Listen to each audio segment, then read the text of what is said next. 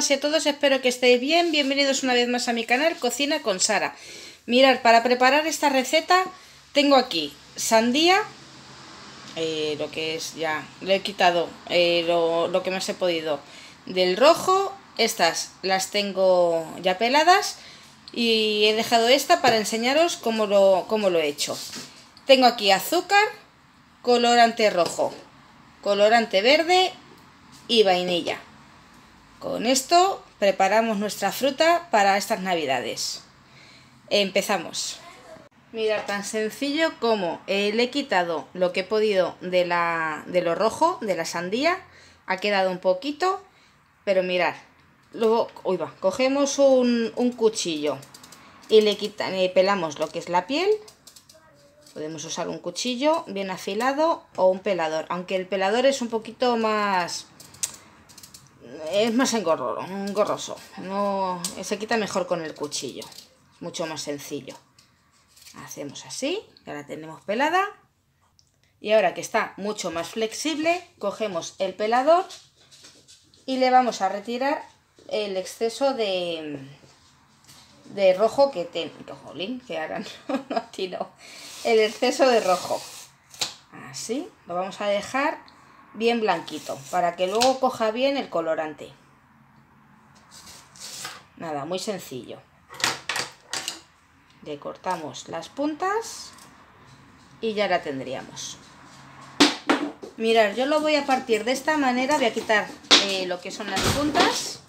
Lo voy a partir de esta manera porque lo voy a utilizar para, para los roscones de reyes. Si lo queréis para los panetones o otro tipo de, dulce, pues nada, lo cortáis lo que es así, en tiras y en cuadraditos. Pero yo lo voy a cortar así en, en cuadrados para, para hacer eso que os estoy diciendo. Así en tiras o en cuadrados. Depende de eso ya os lo dejo a vuestro gusto. Haré unas un poco más grandes y otras un poco más pequeñas. Las voy aquí apartando y voy a terminar con el resto de la sandía. Mirad, ya tengo todo preparado. Eh, para esta receta cantidades exactas no las hay, porque todo va a depender de la cantidad de sandía que, vamos, de lo que es esto blanco de la sandía que vayáis a utilizar vosotros. En mi caso, son 750 gramos de, de sandía. Entonces, hay que utilizar la mitad de azúcar de la cantidad de fruta que vayamos a utilizar. Siempre la mitad. En mi caso es, son 750 de sandía, entonces voy a utilizar 350 gramos de azúcar. Ya os he dicho, depende de la cantidad que utilicéis de fruta, así tiene que ser la mitad, siempre la mitad de la cantidad de que utilicéis. Eh, si no os preocupéis, porque yo haré esto que os estoy diciendo en la cajita de descripción del vídeo, os lo dejo todo detallado con la misma explicación que os estoy dando. Ahora cogemos una cacerola, voy a echar toda la sandía aquí dentro, así, echamos el azúcar y voy a añadirle también una cucharadita de esencia de vainilla. Eh, también podéis utilizar jugo de limón, el zumo de, del limón, una cucharadita, también le viene muy bien. Está muy rico, si os gusta el sabor del cítrico. Pero yo esta vez voy a utilizar eh, esencia de vainilla. Mirad, me lo pongo aquí en el fuego. Lo vamos a poner de momento al máximo y le vamos a echar agua hasta cubrir lo que es la fruta. Solo cubrirla. Por eso os digo que no, hay cantidades exactas, solamente eh, la cantidad que vosotros vais a utilizar. Y también depende del tamaño de la cacerola, claro. Lo vamos a dejar así, al fuego máximo, hasta que empiece a cocer. Una vez que empiece a cocer, que ya empiezan a salir las burbujitas, le vamos a, bajar el fuego a media, a media temperatura, fuego medio. Lo vamos a tapar y ahora en un momento, cuando empiece a hervir, os enseño. como podéis ver, ya ha empezado a cocer. Le bajamos el fuego a fuego medio. Lo volvemos a tapar y lo vamos a dejar cocinar hasta que empiece a, hacerse la fruta así como cristalizada, un poquito transparente. No os preocupéis, que yo os voy a enseñar cada paso que voy a hacer.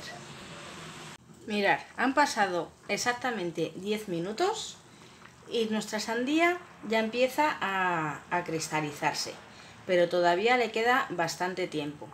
¿Por qué? Porque tiene bastante agua. Volvemos a tapar y dejamos. Mirad, como podéis ver, lleva en el fuego una hora y 10 minutos. Todavía eh, le falta, tiene bastante almíbar, todavía le falta un poquito, aunque hay algunas que ya están bastante cristalizadas, eh, todavía queda alguna que le falta un poquito. Así es que lo voy a dejar otro poquito más. Mirad, ya llegados a este punto, todavía le queda un poquito de caldito. Lo he apagado del fuego, lo he retirado. Y ya me lo voy a llevar aquí. Tengo aquí otra cacerola porque voy a hacerlo de dos colores. Como habéis visto al principio del vídeo, voy a hacer de color verde y de color rojo. A ver, voy a echar más o menos la mitad aquí en otra cacerola así. Y voy a echarle lo que también es la mitad del almíbar. Así. En este que tengo aquí voy a utilizar el colorante este rojo. Eh, echar la cantidad que vosotros queráis.